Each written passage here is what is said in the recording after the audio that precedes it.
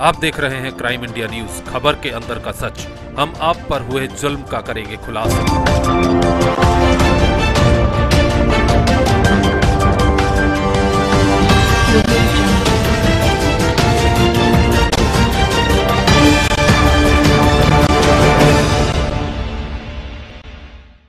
आज नगर निकाय चुनाव हरदोई समाजवादी पार्टी के प्रत्याशी मधुर मिश्रा के समर्थन में सदर विधायक नितिन अग्रवाल, पूर्व जिला पंचायत अध्यक्ष मुकेश अग्रवाल, पूर्व नगर पालिका अध्यक्ष उमेश अग्रवाल और उद्योग व्यापार मंडल अध्यक्ष सुरेंद्र सिंह गौंड ने अपने समर्थकों के साथ बड़े चौराहे से लेकर सिनेमा चौराहे तक पैदल मार्च कर वोट मांगे। हरदोई से क्राइम इंडिया न्यूज़ के लिए राहुल श्रीवास्तव की रिपोर्ट।